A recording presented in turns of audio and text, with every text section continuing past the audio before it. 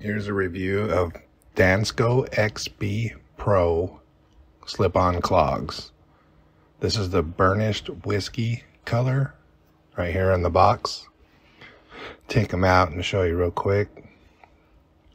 So we're going to turn them around here. That way you get a full view of both. Look at that beautiful burnished whiskey color. High quality all the way around. Great stitching beautiful bottoms.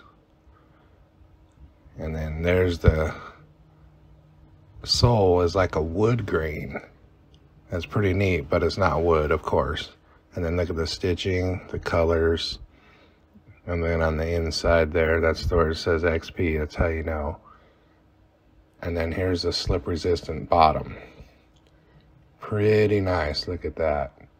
Now, when it comes to um, bottoms. That feels great. Nice solid construction.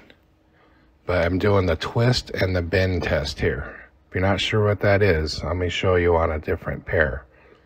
Let me grab it real quick.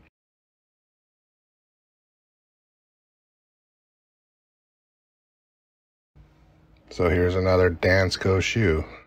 Now, if you don't do the bend or twist, sometimes you'll end up with that. That's a common thing.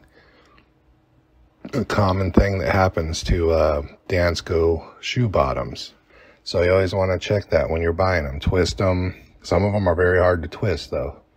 Bend them and make sure that's not there because it will happen. It'll look perfectly fine and then it'll go. But other than that, it's a beautiful shoe.